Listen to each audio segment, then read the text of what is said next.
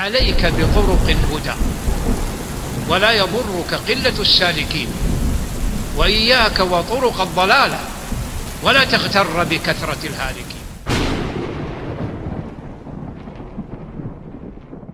I at this do you point, understand my yes, yes, question? yes. People- I think at this stage, people know where we stand. So I, I believe that you know, I feel that the extent in which it fits maslaha, in my opinion, in my opinion, in my opinion, which let's, let's introduce medical ethics to this. Specialist knowledge, we don't care what sect they're. Even if they're Jew, Christian, I don't give a damn. All of my, te- most of my teachers in my life have been non-Muslim. Some of them are homosexual. I don't give a damn. I don't give a damn. Give me the knowledge. A lot of the time, I've learned from you. I have to say. You're gonna have to move further back. That camera can't cope with your height.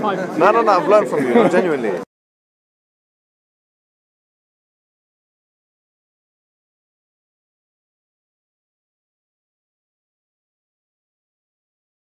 Um, and you've got a beautiful concept that has emerged from your religion.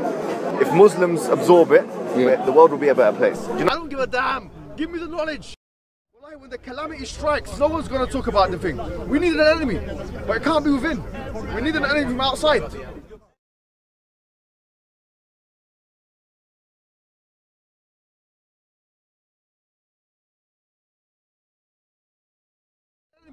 But it can't be within.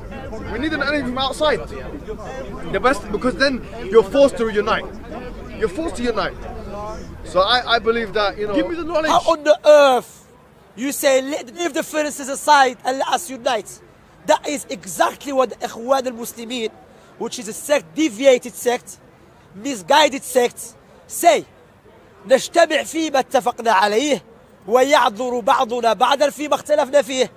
We unite upon that which we agree with and we overlook the mistakes of each other. No. We unite upon the truth and we refute anyone bring misguidance to Islam, regardless, a Muslim or the non-Muslims. We need to bring that back to the Muslim world. Otherwise, you know what's going to happen? We're going to be eaten out from outside.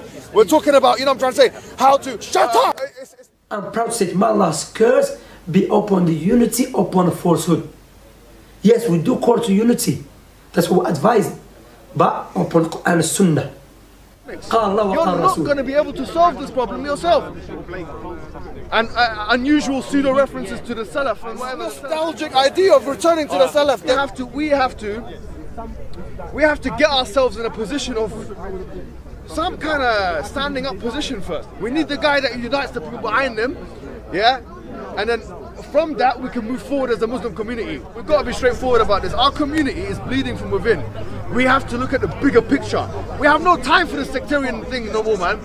But don't pretend that there's no difference of opinion in fiqh. In fiqh. Don't pretend there's no difference of opinion. No.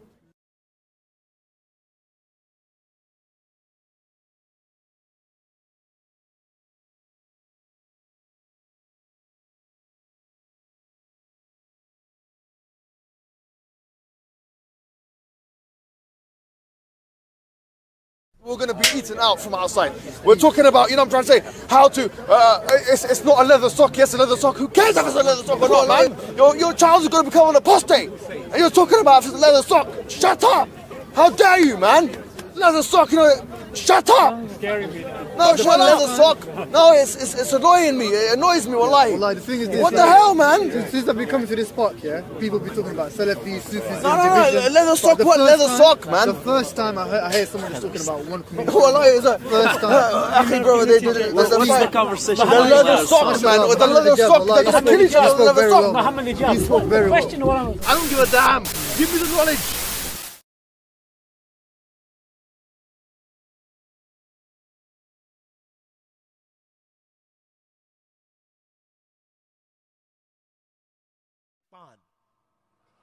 And so when you find that video or that YouTube clip of that individual that hurls abuse against Ahlul Sunnah, then we find Ikhwan those who, who comment.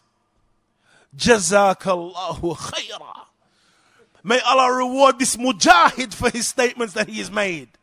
May Allah establish you further and, and bless you more to clarify these affairs to us, oh our beloved brother. I love this brother for the sake of Allah. This brother speaks nothing but kutub, but, but nusus of the kitab and the sunnah, and so on and so on and so forth. Why?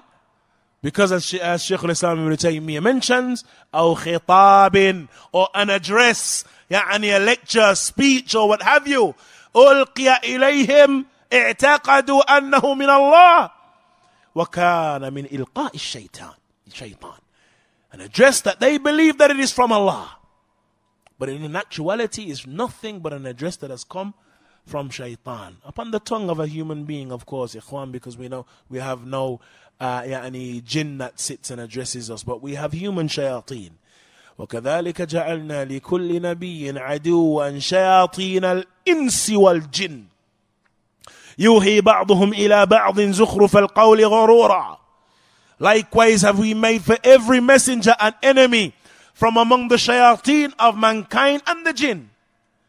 They inspire one another with beautified speech as a form of deception. And so it is from the inspiration of shaitan la shak. Those references, those ahadith, those ayat, that statement from Shaykh al-Islam, that statement from Ibn al-Qayyim, all of that ikhwan from the inspiration of shaitan. And that no doubt one may say, Astaghfirullah al-Azim. How can you say, akhi, an ayah, hadith, and so on, from the inspiration of shaitan, as we mentioned, ikhwan, when it is misused, when those ayat and those ahadith and those quotations are misused and used out of their context, then no doubt, ikhwan, that is from the inspiration of the shaitan. Because Allah Azza wa Jal did not reveal that to carry that meaning, did not reveal that ayah with that in, in, in intended by way of it. Rather, return back to the Salaf of this ummah and how they understood it. And thus, Al Imam Shafi'i rahimahullah ta'ala, he mentions, Amantu billah, wa bima ja'a anillah, ala muradillah, wa amantu bi. وبما جاء عن رسول الله على مراد رسول الله I, in, I believe in Allah and that which has come from Allah upon the intent of Allah Azza wa Jal. That is, those ayat in line with that which Allah Azza wa Jal intended by way of their revelation. And priorities, prior, that priorities are more important than differences. They're more important than differences.